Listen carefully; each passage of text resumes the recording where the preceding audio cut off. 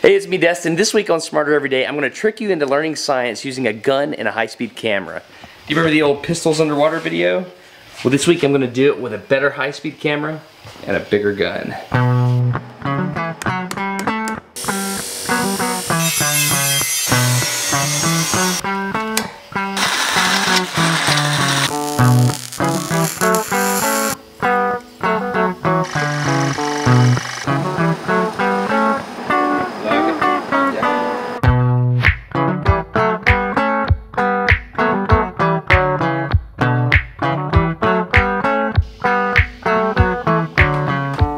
Okay, here's the setup. Uh, this is my dad's AK-47. First things first, the weapon is clear.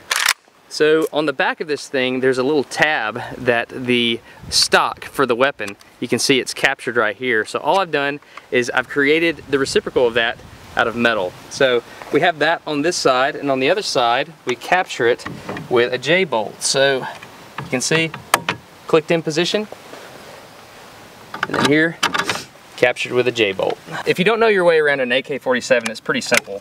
You just take the top cover off, take this spring out, and then you can pull the bolt back. But when you pull the bolt back, which is located right here, you see this large piston. Now this piston is what operates the mechanism that rechambers the next round. And it's pretty simple the way these things work. As a bullet travels down the barrel, it passes a port right here. And this port allows gases to flow into a cylinder which drives this piston back, which moves the bolt and the bolt rechambers another round out of the magazine. So here's the question. As the gas flows into the cylinder and begins pushing down this piston, what happens to all this water?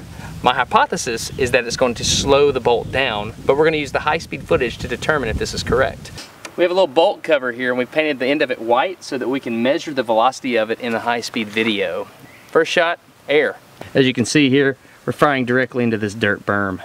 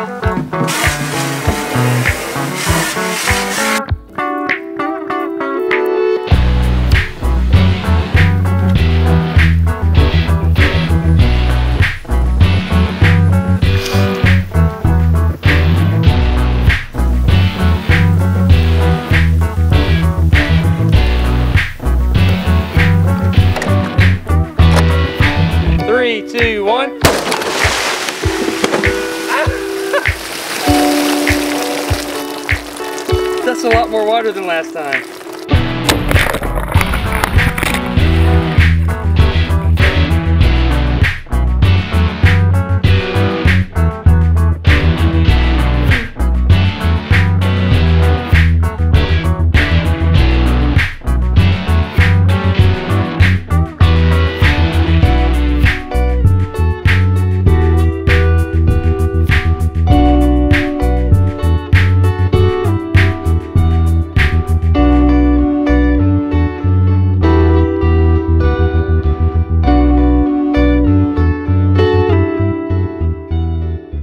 Okay, we're gonna see if it still works. See if I owe dad another weapon.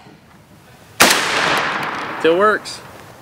All right, so what's the answer? Does the bolt come back faster when the gun is in the air or when the entire thing is underwater?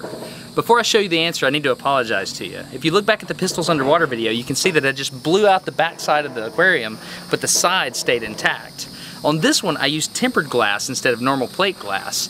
On tempered glass, if you just break the edge, the entire pane will shatter. So obviously, I messed up the experiment. I apologize for that. So here you go. Look at the difference between air and water. Enjoy.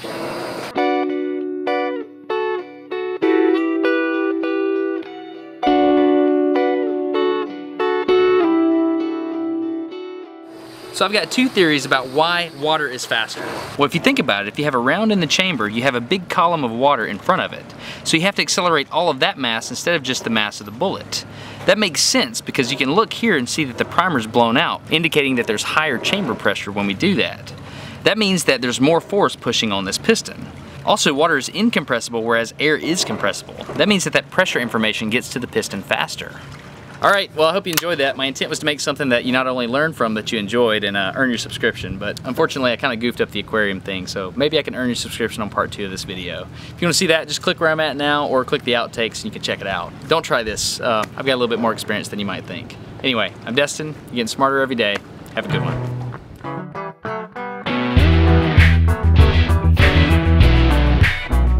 So I think now's a good time to discuss the terms of our agreement. You replace the gun if it harms it in any way. that doesn't sound like a discussion, that sounds like a mandate. Three, two, one. Oh, it was a bad round. Yeah, your tarp idea was terrible. Completely in the wrong spot.